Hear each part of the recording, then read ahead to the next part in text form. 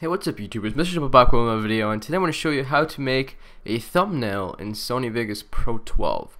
Uh, now the idea was suggested by this person right here, uh, Curd Load, I don't know if I'm pronouncing that right, but yeah thank you for the idea, I decided I would make it, I've been really busy and this is actually going to be a really quick tutorial because it's really freaking easy. Uh, now open up Sony Vegas, it should be opened up already as it is right over here, uh, like this now, when you're making a thumbnail, the thumbnail resolution that I use is 1280 by 720. Uh, I found that's the best resolution. It works really well, and you don't want to go above that or below that. Uh, and it's a good resolution. So to make that setting, just go over here and click on the project video properties. Click that, and this should be 1280 by 720. All this stuff doesn't really matter when you're making a thumbnail, but for now, just leave it like this. Bam. Now, when you're making a thumbnail, you obviously want to relate to something. So I recently did a review for Battlefield 4 on my gaming channel and it worked it came out pretty good. So I'm gonna if I look over here I can see all this gaming footage. So I'm gonna make a thumbnail for Battlefield 4 so just go over here drag that in. Yeah just adjust that. And there's some Battlefield 4 footage and it's pretty cool. So we're gonna decrease this all the way over here. The length does not matter because when you're making a thumbnail you only use one frame. So that's all you really need to know uh, now put now you obviously want to put text over your footage, which is going to be really easy.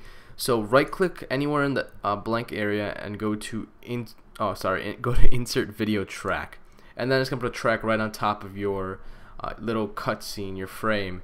Now right click in that empty space and go to insert text media.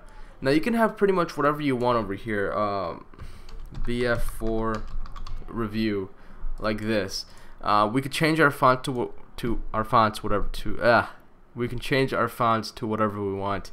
Uh, I'm gonna go with impact. When when you're doing a a thumbnail it's really important that you have a big fat fonts because they are the best to you know be viewable when people are browsing on YouTube.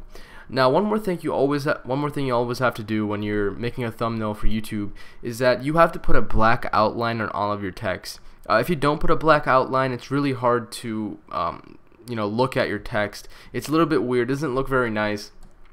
So on, on Sony Vegas Pro 12 you have to go to the outline right over here this little side menu. Uh, hold on one sec. Like this. This is a side menu right here uh, outline. I'm gonna make it black. On older Sony Vegas's I mean sorry younger I guess um, you won't have to click this. It'll be somewhere around this general area. You'll see it and just increases all the way. And as you can see this gives black lines over here. Now let's say that this you're done right now. You are done. Remember that you can make your you can make your things as your thumbnails as fancy as you want. So let's say oh okay I want to insert another video track and I'll make this look super fancy by adding this and adding my logo here. Yeah super fancy. This is not really my logo but I'm just gonna go with randomness.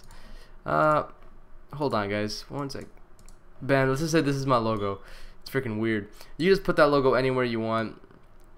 Maybe like this, you know, use pan crop to design where everything will be. In order to access pan cropped, uh, you can either click this little uh, square symbol or right click and go to pan crop and pan crop just adjusts the position of where everything is. So if if you're done with this, if this this is what you want, it's really easy to save. Just click the save button right over here, save snapshot to file. Click that, go over here and just type in whatever you want. Uh, now remember to save as PNG. It's going to be a JPEG as default. Just make sure you change that to PNG because PNG looks a lot better than JPEG. And then once you save, just go ahead and save. Voila. And you should be done. Now, uh, you everyone is not going to have the option to have a custom thumbnail. Uh, I think you need about like 2,000 or 1,000 views in total in order to have the option for a custom thumbnail. But once you achieve that, you'll be able to put a uh, custom thumbnail in when you're uploading your video. Um, let me show you guys an example. Uh, hold on. Let's go over here. Uh, upload. I don't really. Okay, hold on one sec, guys. Uh, I don't really have a video to upload. Ah, oh, poop.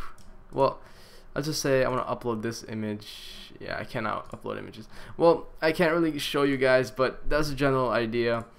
I hope you guys enjoyed. This is a really short tutorial and it might have been a little bit rusty because I'm trying to hurry through this. But yeah that's pretty much it. Thank you for watching. I hope you guys enjoyed. And if you did uh, hit the subscribe button below. Yeah goodbye